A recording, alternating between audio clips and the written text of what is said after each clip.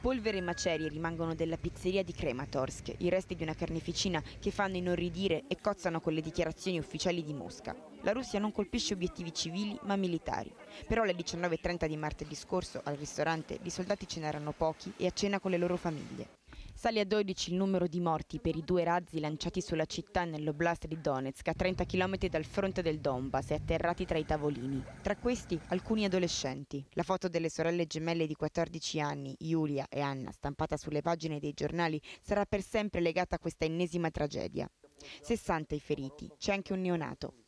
Le armi utilizzate sono Iskander, missili ad alta precisione. Un uomo che avrebbe dato il suo aiuto per l'attacco è stato arrestato, lo ha fatto sapere il presidente Zelensky che in un messaggio sui social ha poi precisato Chiunque aiuti i terroristi russi a distruggere vite merita la massima punizione. Intanto in Russia, quelle che prima erano dicerie sull'arresto di Sergei Surovikin, predecessore di Gerasimov in qualità di comandante in capo delle forze di Mosca in Ucraina, viene dato per certo dal Moscow Times, che cita fonti anonime della difesa. Surovikin non si vede in pubblico da sabato, giorno della rivolta organizzata dal gruppo Wagner, e sarebbe stato arrestato proprio per la sua vicinanza a Prigozhin. E mentre Putin incontra la folla nel sud della federazione, giorni dopo il fallito colpo di Stato, nell'agenda del Cremlino oggi c'è l'incontro tra il cardinal Zuppi, in missione a Mosca, e Ushakov, consigliere del presidente russo. Con la benedizione di Papa Francesco nel ricordare la festa dei Santi Pietro e Paolo, comincia la missione del cardinale Matteo Maria Zuppi a Mosca. Grande riservatezza avvolge questa tappa in Russia dopo che il 5-6 giugno scorsi Zuppi è stato in Ucraina dove ha incontrato Zelensky. Al momento non è in agenda un faccia a faccia con Putin che è partito per una visita in Dagestan, ma l'arcivescovo di Bologna e presidente dei vescovi italiani sarà ricevuto dal consigliere per la politica estera del Cremlino, Yuri Ushakov. Uno degli uomini più importanti nell'impermeabile piramide composta da oligarchi e fidati amici del presidente, profondo conoscitore dell'Occidente, essendo stato ambasciatore a Washington per un decennio. Al centro della visita di Zuppi, che vedrà anche il patriarca Kirill, i temi umanitari, tra cui il ritorno dei bambini ucraini deportati e lo scambio di prigionieri. Non sarà facile trovare possibili vie di dialogo tra russi e ucraini in un momento di grande debolezza di Putin, a pochi giorni dalla marcia della Wagner su Mosca. Un'insurrezione armata che solo per un soffio non è sfociata in un bagno di sangue. Secondo il Wall Street Journal, il capo della Wagner, Prigozhin, voleva catturare i leader militari russi Shoigu e Gerasimov e avrebbe avuto l'appoggio di almeno un altro generale, Surovikin, ex capo dell'operazione militare in Ucraina. Difficile capire quali battaglie si consumino dietro le alte mura del Cremlino. Di certo, le ultime immagini di Putin nell'incontro con il Consiglio di sicurezza mostrano un leader che non riesce a nascondere qualche tremolio. Dichiarazione che rimbalza da Bruxelles, un Putin debole e più pericoloso, evoca scenari inquietanti, così come le immagini che arrivano dalla regione di Zaporizia, dove sono in corso le esercitazioni per addestrare la popolazione sul da farsi in caso di incidente nucleare. Da Kiev i soliti proclami, guadagniamo territori a sud e nel Donetsk. Dal campo solo la conferma che sarebbero di nuovo cruenti gli scontri dentro e nei dintorni di Bakhmut. Zelensky assicura che l'Ucraina percorrerà la strada per la vittoria, anche se sarà difficile. A Kramatorsk, dopo l'attacco al centro commerciale e al ristorante, aumenta il bilancio delle vittime e fa il giro della rete la foto delle due gemelle, Anna e Giulia, 14 anni. Uno scatto in bianco e nero e quelle due sorelle sorridenti, ingoiate dalla guerra, come tanti altri e tra loro centinaia di ragazzini che sono rimasti in Ucraina.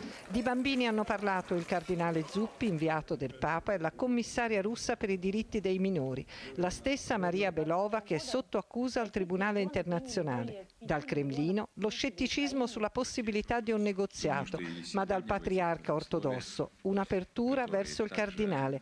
Lavoriamo perché non si arrivi a un conflitto più allargato, ha detto. Mentre Putin parla ancora, ma le sue dichiarazioni sono solo legate alla situazione economica della Russia. Il responsabile della sicurezza al Parlamento, la Duma, invece annuncia che la brigata Wagner verrà esclusa dalle operazioni in Ucraina. Intanto nessuno sa dove sia finito il comandante ribelle, così come il generale Surovkin, che secondo il New York Times sapeva di quello che sarebbe accaduto a Rostov e che forse sarebbe stato arrestato. Un puzzle complicatissimo da ricomporre e ogni giorno che passa diventa sempre più arduo trovare una via d'uscita dal pantano del conflitto russo-ucraino. Voci, sospetti e vendette all'ombra del Cremlino a pochi giorni dalla fallita rivolta armata. È giallo sulla sorte del generale Sergei Surovikin, comandante dell'aeronautica scomparso dal giorno della ribellione, che secondo molti rumors sarebbe stato arrestato. In ottimi rapporti con il capo dei ribelli Prigozhin, Surovikin era stato il primo a registrare un appello per invitare l'amico a fermarsi, una messa in scena, secondo il New York Times, che riportando fonti di intelligence rivela che il generale sarebbe stato a conoscenza del piano della Wagner, un siluro, insomma, contro il numero due delle operazioni in Russia, responsabile tra l'altro delle fortificazioni che stanno rendendo difficile la controffensiva di Kiev.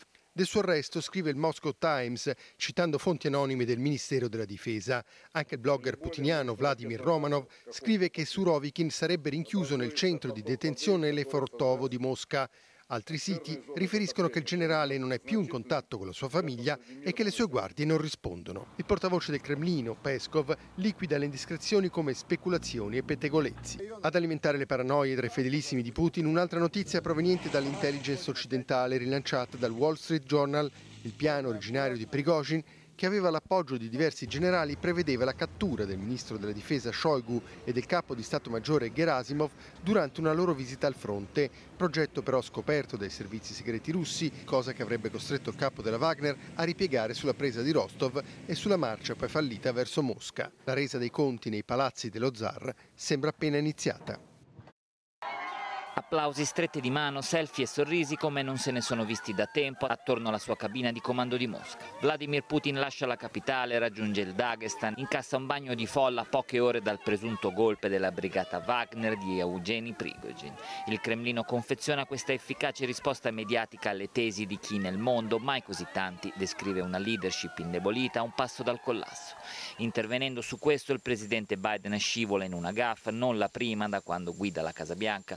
Putin Putin sta per perdere la guerra in Iraq, dice, per poi definirlo un paria, un emarginato, ma frenando su una sua possibile caduta.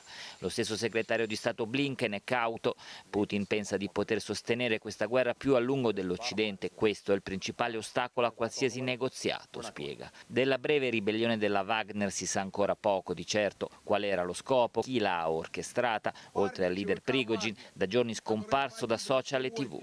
Dato a Minsk dallo stesso presidente Lukashenko, Lukashenko, secondo l'Istituto degli Studi di Guerra di Washington, sarebbe addirittura tornato a Mosca per avviare nuove trattative col Cremlino. In queste ore le speranze di un negoziato per superare la crisi sono affidate al cardinale di Bologna Matteo Zuppi, inviato speciale della Santa Sede per l'iniziativa di pace. In serata terrà una celebrazione eucaristica nella cattedrale cattolica di Mosca, ma prima ci sarà l'incontro cruciale con il patriarca ortodosso Kirill, vertice religioso del paese, figura chiave nella visione di Putin, con lui architetto del Ruski Mir, il mondo russo, la pace russa fondata anche sull'invasione dell'Ucraina. L'incontro con il patriarca Kirill capo della Chiesa ortodossa e strenuo sostenitore di Putin. Gli occhi del mondo sono puntati sulla visita del cardinale Matteo Zuppi a Mosca. Un colloquio fortemente voluto dalla Santa Sede che segue di qualche giorno quello tra il cardinale di Bologna e Zelensky. Non ci sono le condizioni per risolvere la situazione attraverso politica e diplomazia, ha tagliato corto il portavoce di Putin, Peskov. La Russia continuerà la sua operazione militare in Ucraina. Il Vaticano, pur lavorando per la pace, ha anche un altro scopo, riportare a casa i bambini strappati alle loro famiglie durante i primi mesi del conflitto. Sarebbero quasi 20.000 per il sito del governo di Kiev. Per questo il presidente della CEI ha incontrato Maria Lova Belova, la commissaria per i diritti dei minori. Fedelissima di Putin, su di lei pende un ordine di arresto della Corte Penale Internazionale che l'accusa di deportazione di bambini. Dello stesso tema Zuppi ha discusso ieri con il consigliere per la politica estera russo. Un incontro positivo, ma è ancora presto per sapere se avrà gli esiti sperati. Stasera un altro appuntamento importante è quello con la comunità cattolica nella cattedrale dedicata alla Madre di Dio per una messa. In questo clima di apparente tranquillità nei palazzi di Mosca la questione Prigozhin tiene ancora banco. La Wagner non combatterà più in Ucraina dopo il rifiuto del capo dei miliziani di firmare un contratto con il Ministero della Difesa russo. Mistero fitto, invece, sulla sorte del generale Surovkin, su cui erano ventilate voci di un coinvolgimento con i mercenari. Secondo il Financial Times sarebbe in carcere, ma la figlia ha smentito l'arresto.